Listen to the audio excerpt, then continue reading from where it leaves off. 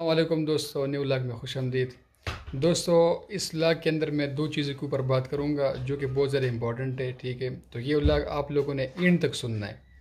First of all वो student जो अभी फ़ारन जाना चाहते हैं, ठीक है? वो जिस कंट्री में भी जाना चाहते हैं, ठीक है?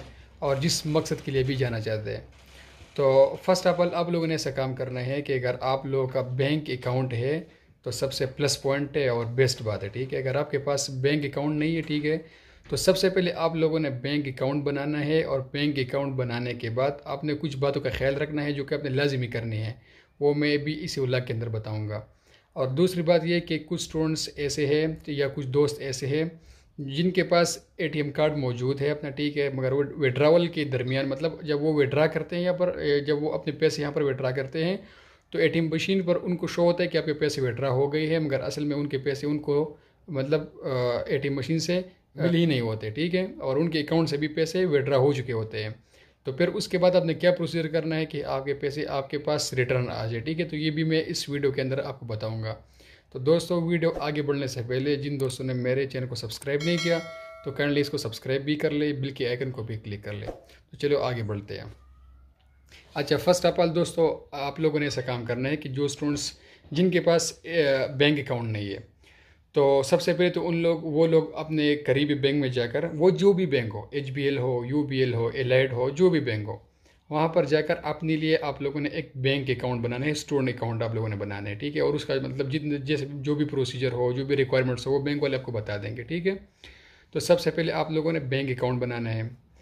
बैंक अकाउंट बनने के बाद आप लोगों ने ऐसा काम करना है कि जिस बैंक में आप लोगों ने अकाउंट बनाए है, उसी का मोबाइल ऐप आप लोगों ने इंस्टॉल करना है। फिर जब आप लोग मोबाइल ऐप इंस्टॉल हो गया, फिर उसके बाद आप लोगों ने हेल्पलाइन को कॉल करनी है और जो बहुत ज़रूरी बात है, आप लोगों ने ये उनसे करनी है।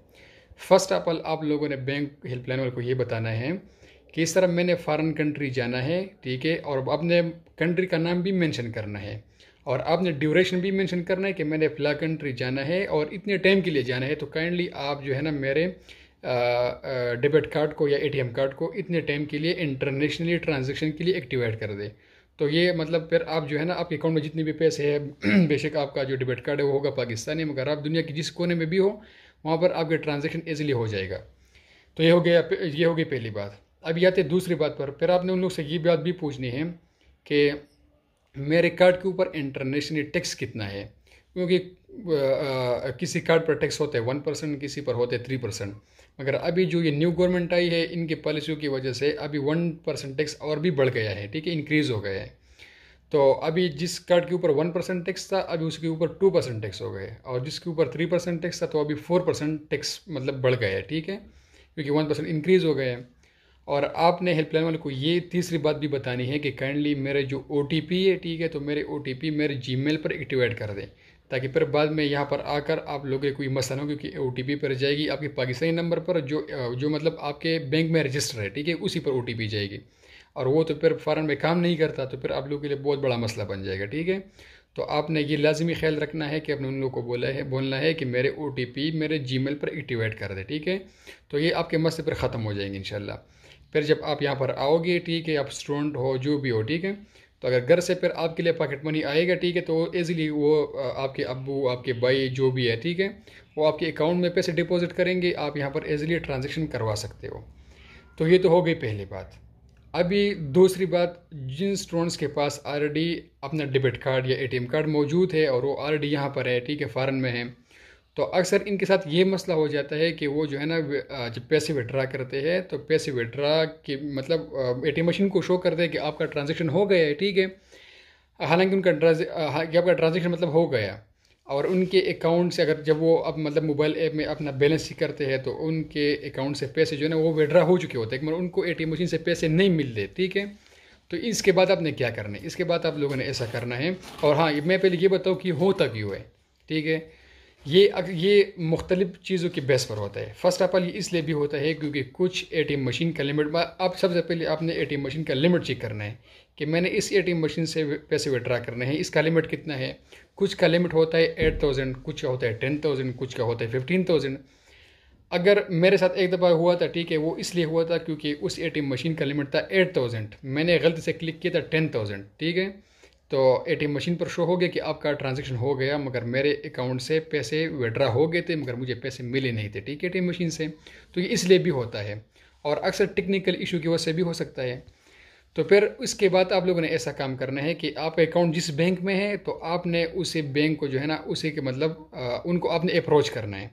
तो अप्रोच आपने ऐसा करना है कि उनका ऑनलाइन पोर्टल होता है ठीक है गूगल पर आप चले जाइए उस बैंक का वेबसाइट सर्च कर ले ठीक है? तो वहाँ पर ऑनलाइन कंप्लेन का एक वो होगा ठीक है? तो वहाँ पर आपने जाना है और उनको आपने कंप्लेन फॉरवर्ड करनी है। ये भी एक मतलब ईजी वे है ठीक है? दूसरा आपने ऐसा काम करना है कि मेरा जब इस तरह हुआ था ना तो मेरा असल में अकाउंट है HBL बैंक में। तो मैंने तो मैंने फेसबुक पर उनका प्रोफ़ाइल ओपन किया फिर मैंने मैसेंजर पर उन, उन लोगों को मैसेज किया मैंने अपनी सारी कहानी सुना दी। फिर उन लोगों ने मुझे, मुझसे पूछा कि आप, हम, आप जिस कंट्री में रहते हैं तो उसी कंट्री का लोकल नंबर हमें सेंड कर दें। मैंने लोकल नंबर सेंड किया, उन लोगों ने मुझे आगे से फ़ोन किया। मैंने पूरी कहानी सुना दी उन लोगों को, ठीक है? तो तकरीबन fifteen days within fifteen या ट्वेंटी डेज़ मेरा मसला हल हो गया। मतलब मेरे जितने भी पैसे थे तो मुझे रिटर्न हो गए थे। तो इसी तरह आपका अकाउंट जिस भी बैंक में है तो आप उनको अप्रोच कर ले डायरेक्ट ठीक है? या उनके हेल्पलाइन पर कॉल कर दे। इंटरनेशनल हेल्पलाइन होता है हर किसी बैंक का। या फेसबुक के थ्रू कर दे ट्विटर के थ्रू कर दे, ठीक है? उनके साथ, उनको आप अप्रोच कर ले, उनको आप अपनी सारी कहानी सुना दे और उनको आप ये भी बोले कि, सर फ्लैट डेट को फ्लैट टाइम पर इतने इतने पैसे थे मेरे, पाकिस्तानी करेंसी में इतनी है लोकल और यहाँ का, आप जिस कंट्री में रहते हैं, उसी लोकल करेंसी में इतने हैं। ठीक है? और ये ये मसला मेरे साथ हुआ था। तो वो लोग आपकी सारी हिस्ट्री देख लेंगे, ठीक है?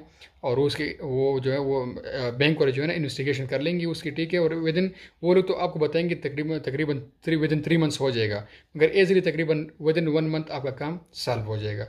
तो ये कुछ ज़रूरी बातें थे, मैंने सोचा कि आप लोग साथ शेयर कर लो।